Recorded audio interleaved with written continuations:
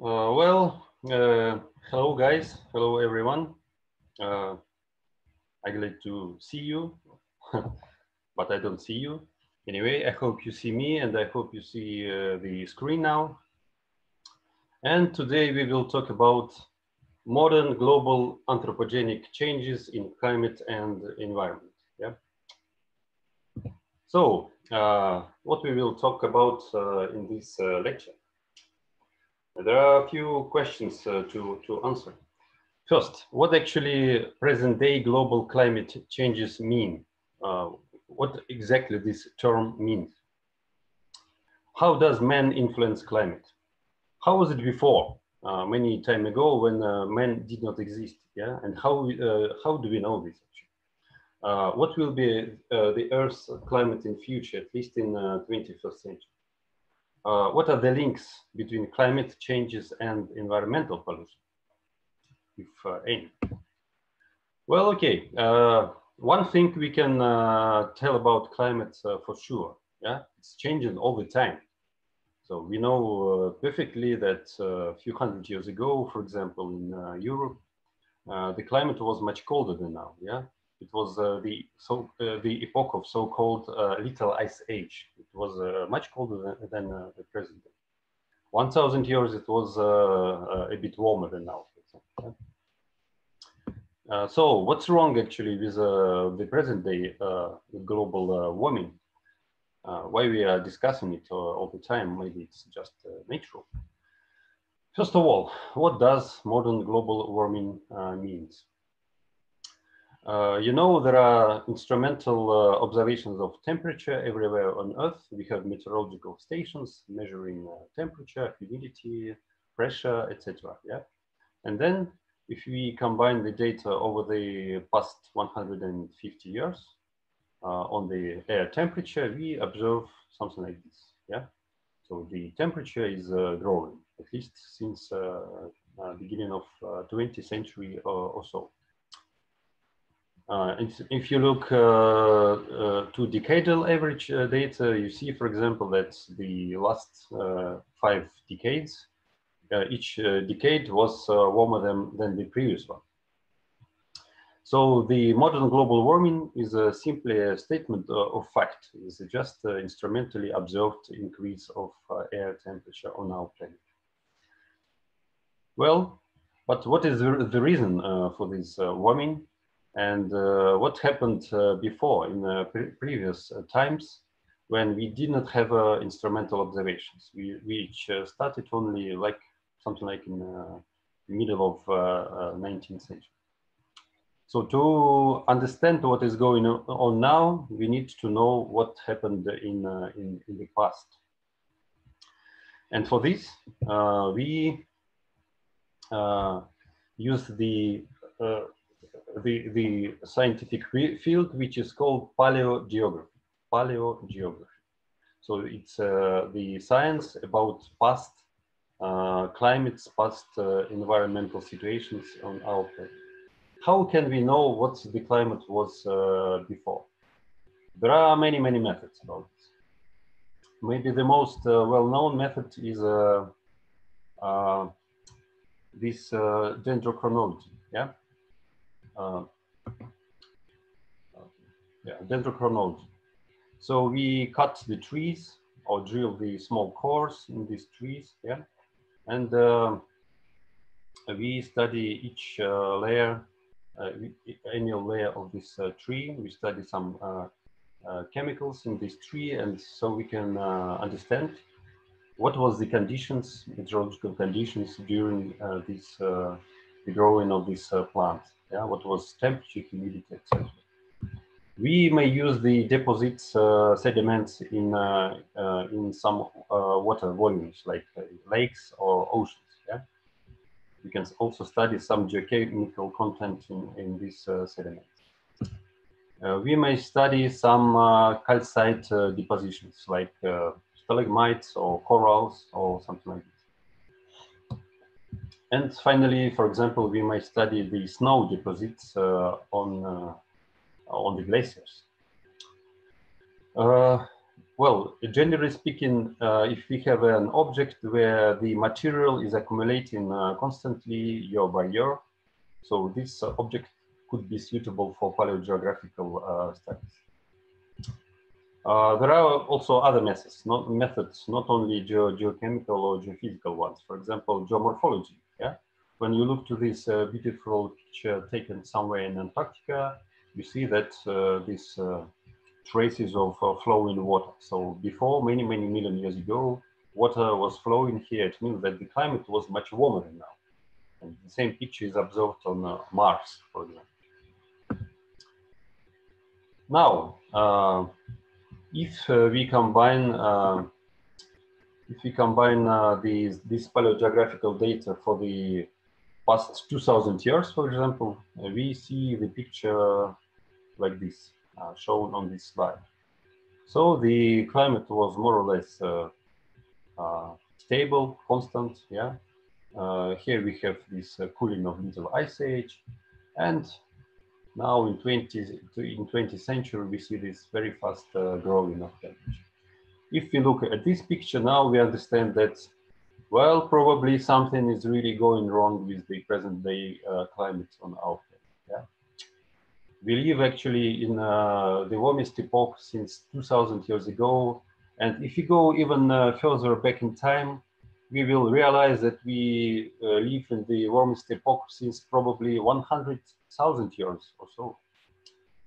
Well, uh, and now, uh, why the modern warming is unique? Well, first, it is very fast. You know, this uh, growing of temperature uh, by one degree in 100 years, it's actually unprecedented. We never have seen this before in the past uh, climate. And if we take, uh, you know, the uh, last 50 years, the rate of temperature increases, even, even the rate is like one and a half uh, degrees in, uh, in a century. Well, then it's global. If you take a look uh, to this little ice age situation, we see that in some regions there was cooling, in some regions there was warming, on average, it was a slight warming this epoch, but you, you see that the climate uh, was different in different regions. But if we look now, uh, what's happening on our planet, you see this red color is, uh, is, is, is actually warming. This, uh, how to say, pink or magenta color is actually where warming is, might use even greater. And only one small spot here which is blue, it means there is a slight cooling here. So we will talk about this later. So everywhere on our planet, we observe this, uh, this uh, warming. And finally, it is thought or believed to be uh, anthropogenic in, uh, in origin.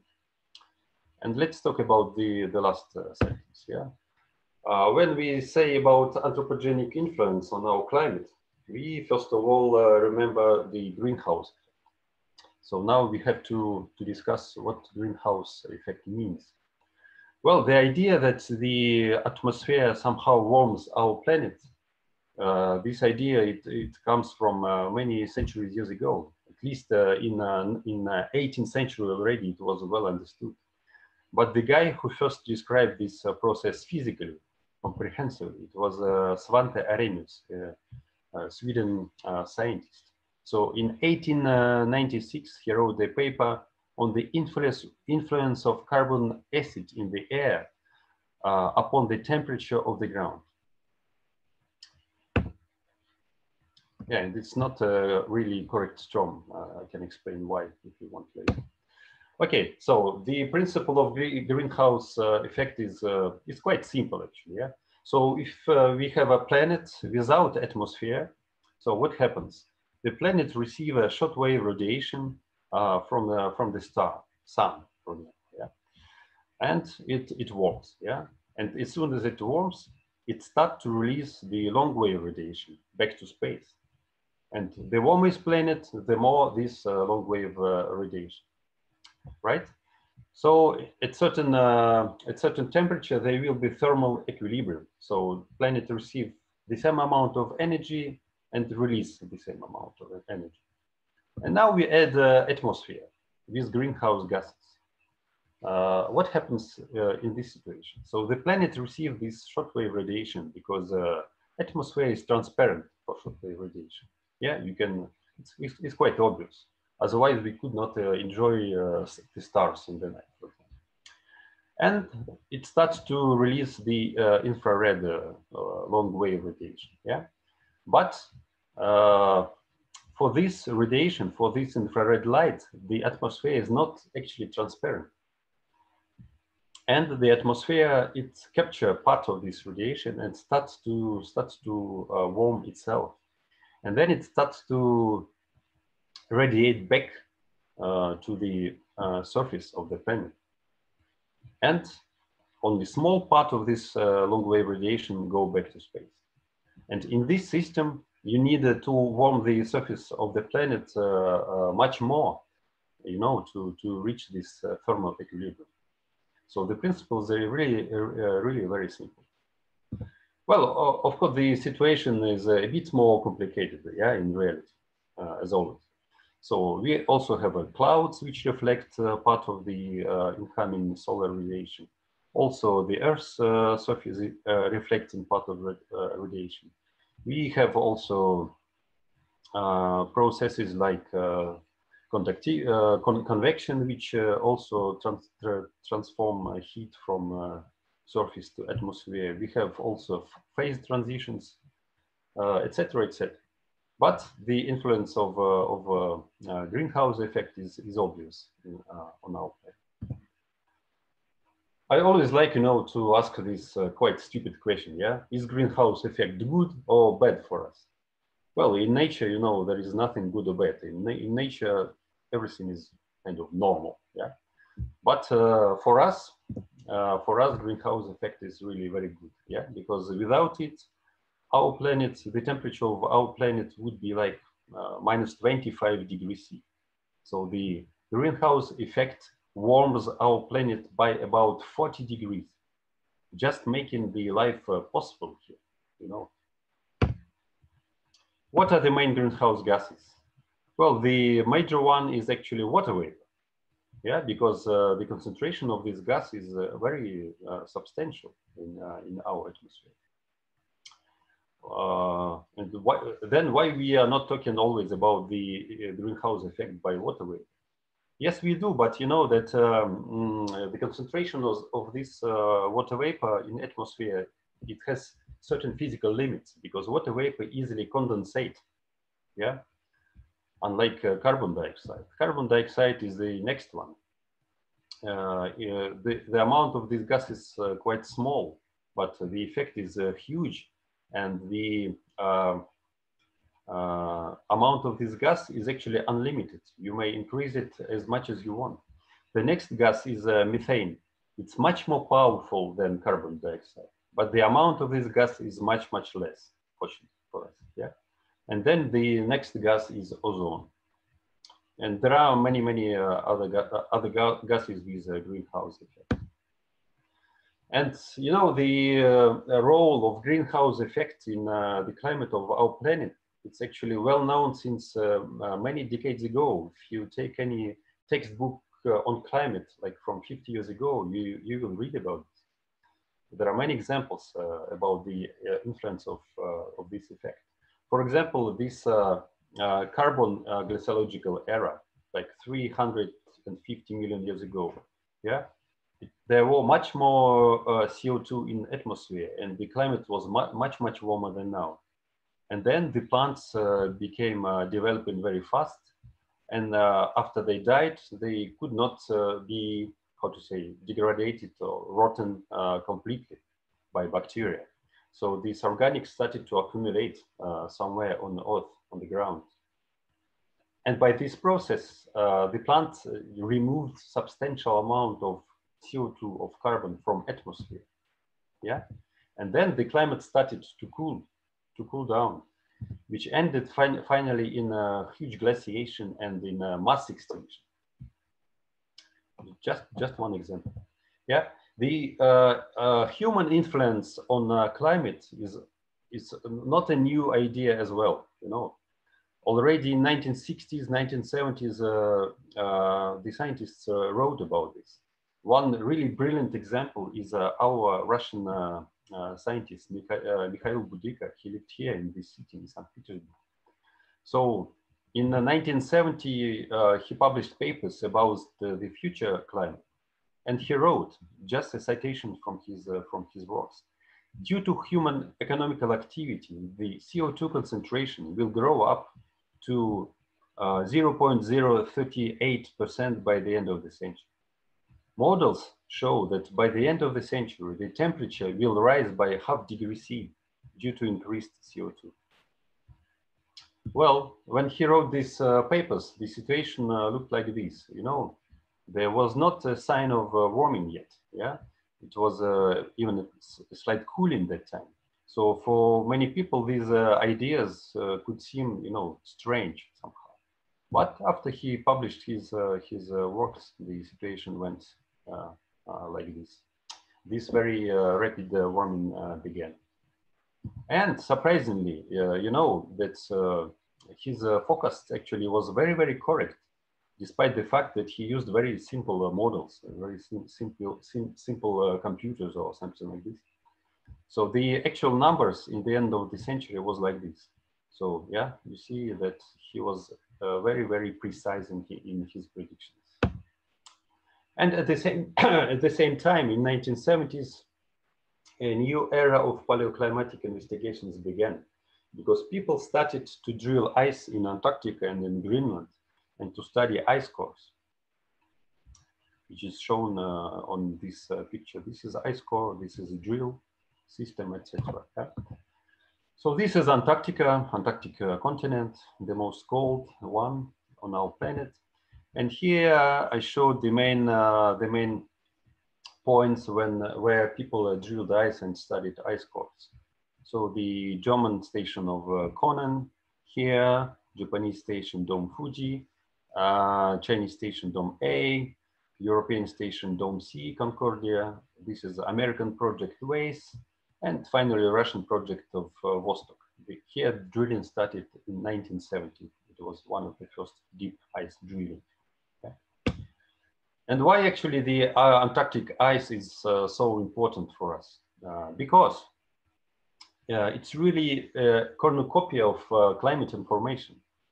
We may measure the isotopic uh, content of this ice and which it gives us the actually estimation of uh, air temperature in the past. We can measure the content of uh, inclusions, mineral inclusions like dust or soluble inclusions, sea salts, uh, cosmogenic isotopes, uh, some uh, pollutions uh, and human pollutions as well, some volcanic products, yeah? And maybe the most important or very important that the ice contains these air bubbles. So we may directly measure the uh, concentration of gases in atmosphere in the past, including the greenhouse gases? Well, so let's have a look what we know from, uh, from the ice cores about the climate of our planet for the past uh, uh half a million year. Okay, let's start from the top, yeah, for example. So here we have a dust concentration. Now let's better start from temperature. Yeah, this uh, red line is a uh, is a temperature. So we live here in a, a warm period uh, called uh, Holocene. Yeah, the present day interglacial. So the 30,000 years ago, uh, there was a previous cold period, previous cold era or ice age. Yeah, with a temperature like 10 degrees uh, colder than now in, in Antarctica. 120 years ago, it was a previous intergla inter interglacial, etc., etc. So we, we see these cycles and each cycle is something like 100,000 years. Short warm periods and long uh, cold periods. And now go back to, to atmospheric uh, dust. So in cold periods, the concentration of dust was uh, like 20 or 30 times more than now, which means that uh, the climate was more arid, so more dry uh, in a cold, uh, cold areas. And atmospheric circula circulation was uh, more intensive. And also the area of, of, uh, of continents was more than now, yeah? Because the sea level was like 120 meters lower than now. So the surface of oceans was less than now. And why the sea level was uh, lower than now? Because a lot of uh, ice, a lot of, oh, sorry, a lot of water uh, was stored on the continent as ice, as ice sheets. Yeah. And finally, by green, uh, the concentration of uh, greenhouse gases is, uh, is, is, shown. This is a CO2 and this is a methane. And for the first time, when we studied the ice cores, we saw that actually temperature and CO2 is really very well correlated with each other, you know. So it was uh, understood theoretically, but by that time, but uh, there were not very many uh, uh experimental evidence of.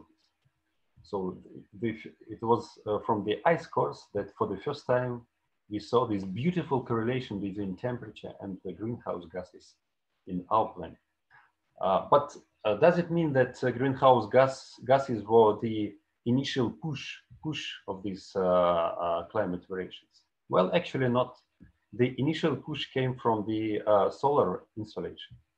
And then this very small, actually, very weak initial push was uh, enhanced somehow by the uh, feedbacks uh, in the climate system, in oceans, in ice sheets, and the, the, the main driver of this temperature rise, it was a, a greenhouse gas. And uh, another uh, thing that we learned from the ice cores is that present day concentration of greenhouse gases is absolutely abnormal. Yeah. If we see the concentration of CO2, for example, uh, during the past uh, half a million year, so the concentration changed between uh, about 180 and 280 ppm or parts per million. For example, 200 parts per million ppm, it equals to 0.02% uh, for you for your understanding, okay? And now we have uh, this uh, amount of CO2, more than 410 ppm. And for methane, this is situation, it's even uh, worse. Yeah, so before it changed between four and 700 ppb, parts per billion, and now it's like two or three times more. So looking at this picture, we understand that the present day concentration of uh, greenhouse gases in, uh, in atmosphere is absolutely not known. Uh, it never happened before for, ma for many, many million years. Well, okay, Ah, yeah, it's another picture about these uh, uh, uh, about this data from ice cores. So by points, Uh, the concentration of CO2 from ice cores, uh, ice cores uh, is shown, and the line is an instrumental observation in present day on the observatories. And you see that there is a period of overlap and you see that the, the both sets of data actually uh, correspond uh, very, very well. We also may ask a question, when did we last have this concentration of, uh, of CO2 uh, like now? Well, uh, we do not really know uh, for sure, but probably it was 3 million years ago, but maybe 15 million years ago or so. So the concentration of CO2 changed like this in the past, yeah. And now we have we are at this level something like this. Okay. Well, now we, we understand we, uh, uh, it's a scientific, uh, scientific fact that the present day concentration of CO2 is not, is not normal, yeah. But probably it's natural by origin. How can we prove that it is a, is a human actually? To answer this question, we first need to look at the carbon cycle of our planet. And let's start from, uh, from atmosphere. So uh, before, before human uh, activity came on the scene, the amount of carbon in the in atmosphere was something like uh, 600 uh, billion ton or gigaton, yeah? And uh, what happened with this uh, carbon? Well, first it consumed, it is uh, consumed, consumed by plants, yeah, by trees, by, by grass, etc. And each year the plants consume something like 120 billion ton of, of, of carbon, yeah? So all the trees on, on Earth can eat the atmospheric carbon in only five or six years, but it, it doesn't happen. Why? Well, it doesn't happen because plants and trees also release the carbon back to atmosphere during uh, breathing and during uh, uh, decay after, after they die. Then the uh, CO2 is uh, dissolved easily in, uh, in, in water. So it goes to, it goes to ocean and uh, it exists there in the form of dissolved uh, uh, organic and inorganic carbon, which is then consumed by marine microbiota and by marine species, etc., etc. Yeah? But ocean also releases carbon back to, to atmosphere. And all this, all these fluxes of carbon was equilibrated uh, in the past. Also, we have a lot of carbon stored in uh, fossil fuel, just some huge amount, few thousand uh, billion ton of, of, of, carbon, and in permafrost. Actually, nobody knows how many carbon is stored there, but it's also a huge amount. And look at this, for example, volcanoes. Uh, yeah, volcanoes release uh, not big amount of, of CO2 actually, something like 0.1 uh, uh, uh, billion ton uh, every year. And then the humans came, yeah. And what we started to do, we started to dig out coal and oil and gas, and we use this fossil fossil organic as a as a fuel, yeah, to get energy and heat. And uh, actually, each year we release, uh, by this process, each year we release something like maybe eight or nine uh, billion of, of ton of uh, CO2 of carbon to, to atmosphere. And uh, it's actually, this, this is a huge amount actually, you know. So we release to atmosphere like 100 times more uh, CO2 than all the uh, volcanoes on our planet. Can you imagine this? Yeah. Well, and uh, since uh, last uh, 150 years, we took uh, like more than ne nearly 400 billion ton of, of, of, carbon and released it to atmosphere. And this extra carbon started to circulate in these natural loops. So extra carbon is now assumed by plants. Extra carbon is now dissolved in the ocean but nature cannot uh, digest all the carbon we uh, introduce to the system because we introduce just too much. Yeah. So some carbon is accumulating in uh, atmosphere. And during uh, the present 150 years, so this amount of carbon uh, accumulated in atmosphere. Well, actually, it's uh, it, this graph is a little bit old because things are changing very fast. So now this this amount is is like this. So 275 billion ton of carbon has accumulated in atmosphere uh, due to human activity. Actually, there are many proofs uh, that the this extra CO2 is uh, of human origin. I really li li like this uh, this one, for example. Yeah. So uh, uh, when we burn the fuel, we need for this reaction we need the oxygen. Yeah. So to, to, to combust the, the gas or oil, we need uh, oxygen. And oxygen is taken from atmosphere. It means if carbon dioxide increases, the oxygen in atmosphere must decrease at the same time. And this is actually what, what is happening now, yeah? As soon as CO2 is increasing, the oxygen content in atmosphere is decreasing. And next proof uh, go, uh, comes from geochemistry. Uh, for some reason, uh, the concentration of heavy uh, isotopes of carbon in uh, organic fuel, in fossil fuel, is, is reduced. So when we take this uh, uh, carbon, uh, isotopically light carbon and release it to atmosphere, the isotopic uh, content of atmospheric uh, CO2 must uh, decrease actually, yeah? And this is what is happening now, what is observed now. It would not be the same if this CO2 come from volcanoes, for example. Uh, how else does man influence uh, climate? Uh, is it only uh, uh, greenhouse effect? No, no, of course not. So we influence climate in many, many ways. Yeah. Uh, the well, the greenhouse effect is the most obvious one, and let's not forget that we have many greenhouse gases here. Yeah. But not all the processes lead to warming of our planet there are many processes which lead to cooling actually. For example, the release of aerosols. Yeah, we produce a lot of dust of aerosols, and their aerosols behave in uh, in different ways.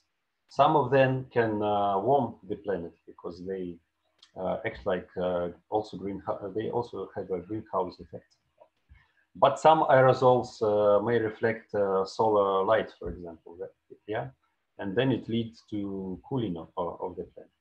Also, we have uh, more clouds now than before, also due to increased aerosol uh, concentration. And cl clouds also reflect the sunlight, just slightly cooling of our planet.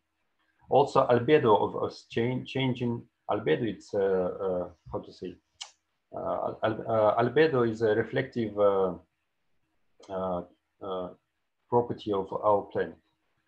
Uh, the more is albedo coefficient, the more uh, energy the surface uh, reflects, okay? So albedo is changing and the surface of Earth reflecting more energy than, than before. So there are many processes, but the sum of this process leads to uh, overall warming, okay? And now look at the natural factors, which are sitting here. They're just tiny compared to the uh, to the anthropogenic factors. And this is the next uh, slide, next question we, we uh, want to answer. What is the relationship between natural and anthropogenic factors in, in the climate now? Yeah. So this is the total uh, temperature anomaly on our planet for the past 120 years or so. And now we break this uh, apart into different uh, influences, different uh, uh factors and forces. Uh, okay, the first one is uh, solar activity. Yeah, solar activity is, is, well, it's it is shown here, and actually the last decades the we receive a little bit less solar energy than before. So no, this factor cannot explain the warming. No way. Then uh, volcanic uh, component. Yeah, after each big volcano eruption, uh, so we have more aerosols in atmosphere and they start to re reflect the, the sunlight. And then uh, the planet is, uh, is cooling for one, two or three years or so. Yeah. Uh, and in the last decades, the volcanic activity also a little bit increased. So it's also led to slight cooling of our uh, planet. So no, this factor cannot explain the uh, global warming as well. We have also some internal variability like uh, El Nino events, etc., which cannot also explain the, the warming. And uh, anthropogenic component is account for more than or about 90% of, of climate variability in 20th century. Yeah. And the likelihood of this statement is nearly 100%. Uh, it's a five sigma, if you understand the statistics. Yeah? So it's more than 99.9% of likelihood that it is anthropogenic influence, that's the present uh, uh, anthropogenic influence on the uh, present day global warming. We might look uh, at this picture in a slightly other way, yeah? So the black line here is the observed temperature changes. And these color, colored lines, it's a model runs that try to explain the, uh, this uh, temperature variability.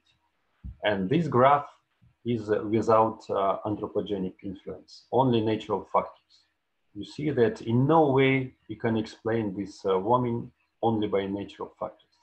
Only when you add uh, the anthropogenic influence, you may explain this uh, uh, warming trend.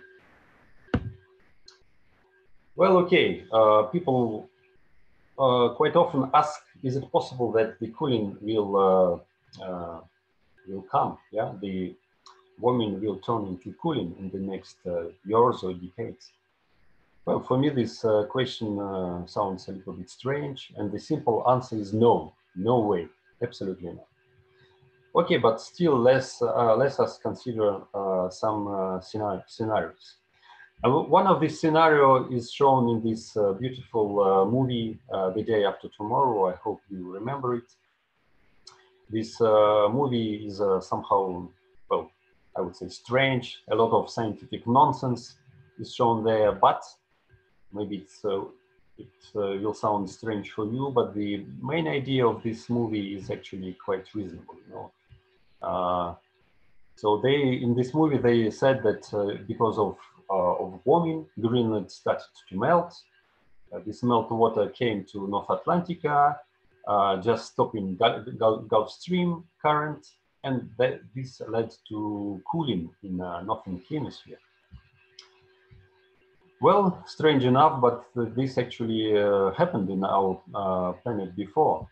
The last time such event uh, happened uh, 8,000 uh, years ago. So, yeah.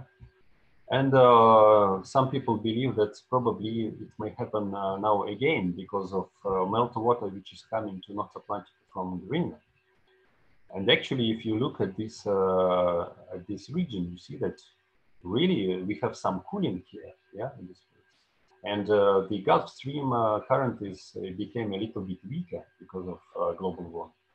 But according to the uh, models, to the calculation of oceanologists, well, such a, a great cooling event has happened 8,000 year, years ago. It cannot uh, happen now. It's not enough melt water coming to this system. Uh, next uh, question you may uh, ask me, okay, what about the next uh, uh, ice age? Yeah, so we live now in uh, interglacial period and uh, the new glacial uh, period should come in, in, in certain time. Probably yes. So let's let's use the paleogeography, uh, paleogeography data to answer the question when the next ice age will come. So we compare the present day uh, temperature curve in our warm period in Holocene with a similar warm period 400,000 years ago. It's a marine isotopic stage 11. Yeah.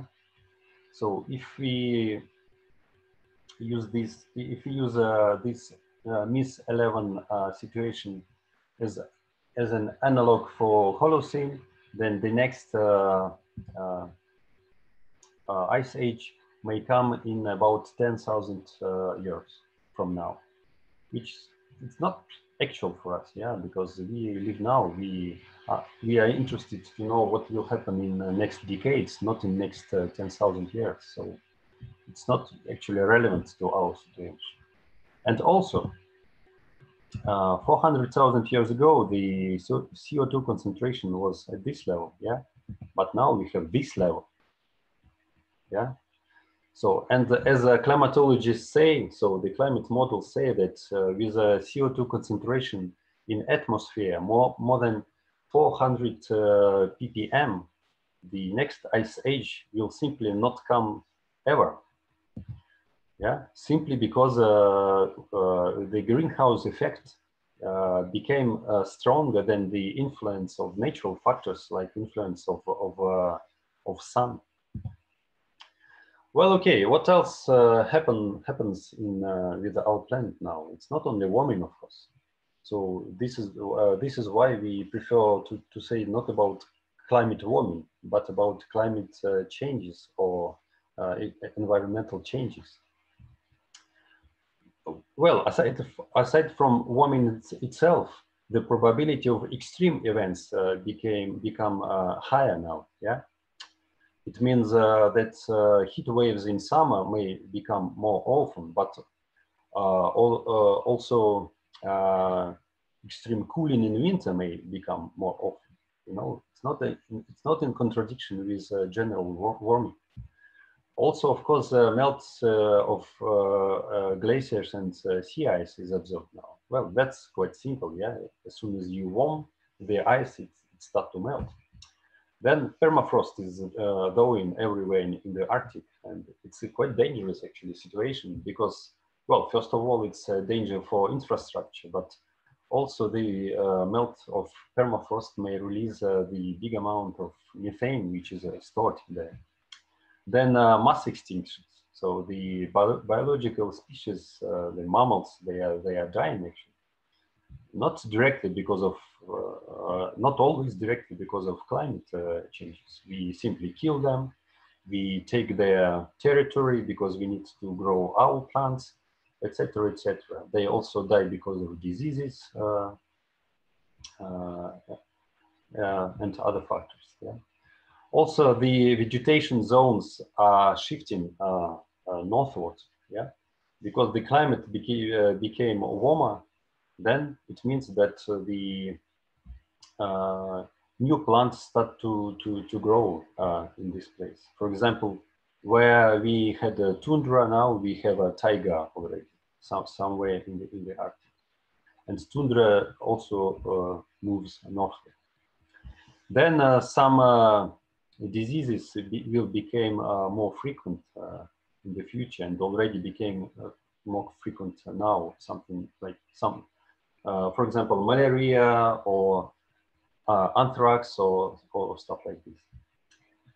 Uh, next, pro, uh, a lot of processes is happening in the in the ocean because uh, ocean is dissolving more CO2 than before. It's become more acid which could be dangerous for marine species like uh, corals, for example, or fishes. And also we observe uh, hypoxia in the ocean, so less amount of uh, dissolved oxygen, which is also not, not, not good for, for marine species, etc., etc. There are many, many uh, quite complicated processes going on. Okay, what will happen next? There will be further warming, yes, that's for sure. There is no uh, cooling scenario, scenarios for us. And uh, it's the explanation of this is, uh, is very uh, simple. Well, first of all, the CO2 gas is uh, quite, uh, how to say, stable. there is a bigger inertia in, in this system. So as soon as we release a lot of CO2 to atmosphere, it will stay there for decades and for centuries. Yeah, it cannot go away very fast. And also the uh, temperature of atmosphere of our planet is not in equilibrium with the CO2. So even if we fix the amount of CO2 like, uh, uh, like uh, now, the temperature will be growing and growing as a, a reaction on this CO2 level. So there is just no physical uh, uh, reason for the cooling in the, in the next decades, at least uh, until the end of this century. But the real, uh, uh, how to say, development of the situation will depend on actually on human activity. There are uh, different scenarios shown here by blue and by red.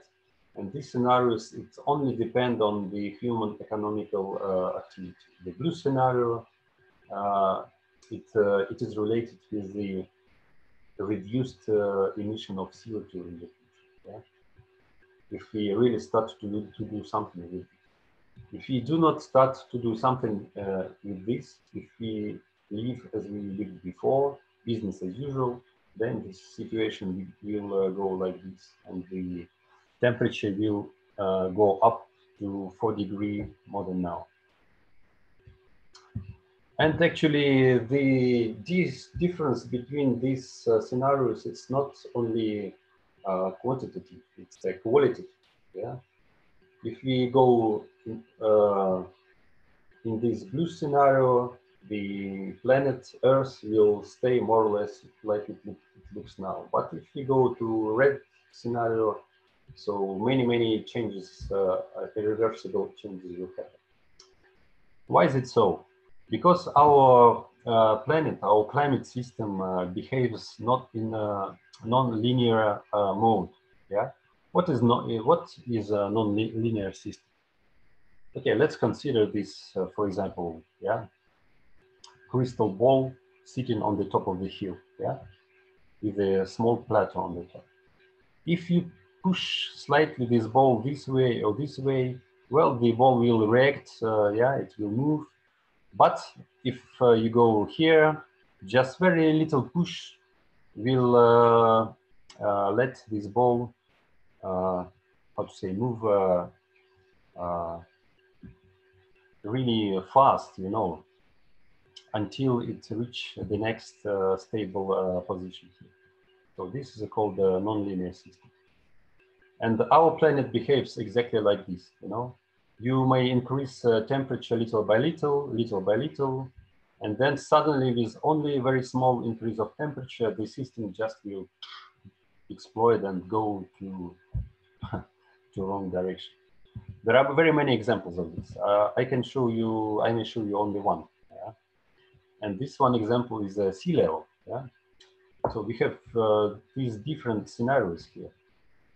Uh, so if we uh, able to keep the temperature uh, in the like 1.5 degrees C or 2 degrees C uh, compared to pre-industrial, then the uh, sea level will rise probably only only slightly by uh, the end of 21st century, like maybe 40 centimeters or so. But if the temperature uh, increase will exceed uh, like two degrees, then the irreversible degradation, disintegration of parts of Antarctic ice sheet uh, will start because Antarctic ice sheet is somehow dynamically not stable, you know. So if temperature will uh, pass certain thresholds, then uh, these uh, glaciers, these ice sheets become to disintegrate. And then the sea level will go to very, very high values, like uh, 15 meters in, in 500 years. And this process will be really, uh, you know, irreversible. It means that even if we uh, uh, return temperature to the same level as 100 years before, well, the ice sheet will continue to, to disintegrate yeah, this is just a comparison how Antarctica look now and how it may look in, uh, in uh, 500 years. Thus, uh, I lead you to the idea that the uh, actually the further warming is unbearable for our planet. Uh, and this uh, dangerous threat threshold, it lies somewhere between 1.5 degrees C and, and 2 degrees C. Oh, sorry, it's a small button in Russian here, but I will translate for you. Uh, and uh, if you want to keep the temperature in the limit of 1.5 degrees C, uh, we need uh, to take the massive and uh, very urgent uh, actions. We need to decrease the CO2 emission by about by half in by 2030 and uh, by 2050, about 85% of energy must be taken from, uh, uh, from other sources, from natural sources. When, uh, yeah, when will we reach uh, this 1.5 uh, level of warming? Well, first I need to say that these figures, 1.5 level of warming, 2 degrees C warming, it's not uh, compared to present day, it's compared to pre-industrial period. And since pre-industrial period, we have already warmed our planet uh, by one degree C, okay? So to reach 1.5 degrees C, we only need a half of the degree. And with the current rate of warming, we may reach this uh, level of 1.5 degrees in uh, by uh, 2030 is the earliest. well, probably it will be 2040 or later. Yeah, we don't know. But the time is really, the time is up. Yep.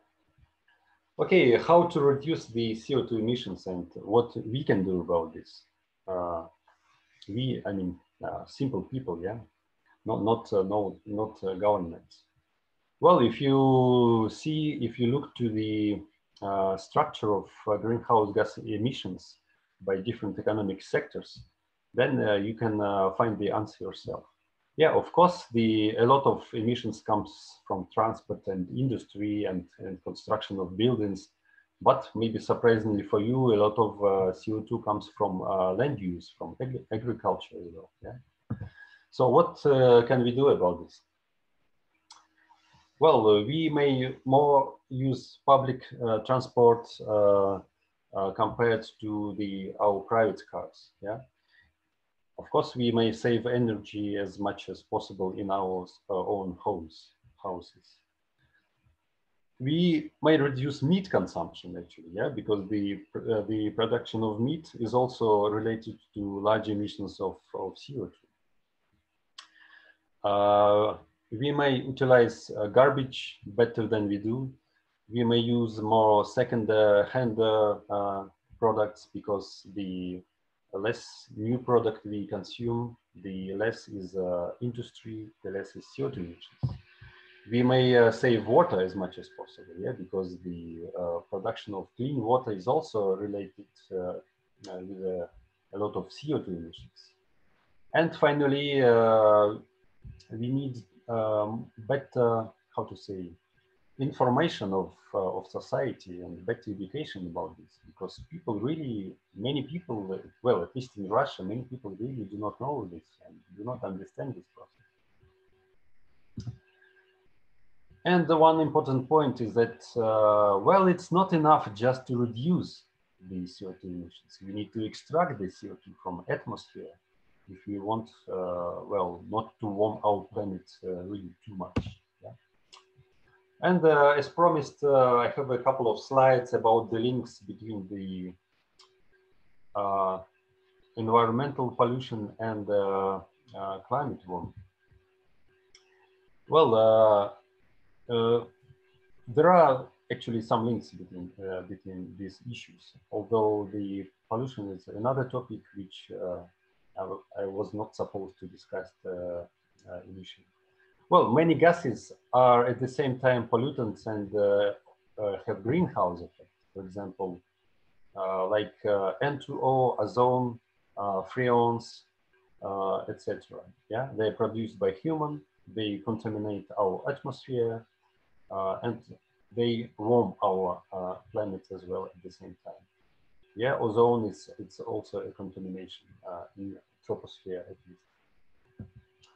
Then aerosols, the dust. Yeah, we, uh, we produce a lot of dust, and uh, as, uh, as I said, it also has effect on climate. And some dust particles could be very, very dangerous for our health. Yeah, also, well, black carbon is a specific atmospheric aerosol, which also has a huge influence on climate because it may cover the glaciers, for example, and absorb, absorb just a lot of solar energy and destroy these glaciers. Yeah. And at the same time, black carbon is uh, extremely dangerous for our health. Then CO2 is a poisonous gas by itself, by the way. Yeah. If concentration of CO2 in your home exceeds uh, like 1000 ppm, it may be uh, dangerous for you. Then uh, uh, waste uh, storages, waste landfills is a quite effective source of methane, and methane is a quite powerful greenhouse gas. then plastic, yeah, everybody will, everybody are is talking about the, the, the, plastic which is contaminating our planet, uh, which is true. And at the same time, plastic uh, uh, Uh, it slowly degrades uh, uh by sunlight with a releasing of uh, CO2. So it could be a source of greenhouse gas as well. Uh, then some not very obvious uh, links between pollution and climate change. For example, because, for, for example, because of degradation of sea ice in the Arctic, uh, the transportation uh, ways are changing. Yeah, a lot of uh, ships will go to the to the Arctic, to the Arctic. well, on one hand, it, it is good because the transportation ways become shorter, so you consume less fuel for, for this. On the other hand, uh, the for Arctic is not uh, very good because there will be more contamination uh, in the Arctic and more uh, influence on the ecosystems uh, in this region. Well, and finally, uh, in general, the less you consume, yeah, the less is industrial production, the better for environment and the because you produce less uh, garbage and the better for climate because you release uh, less CO2. So, so th there is uh, actually very close very tight fundamental uh, link uh, between these two uh, issues. Well, and this is the end of my presentation. This is the last slide.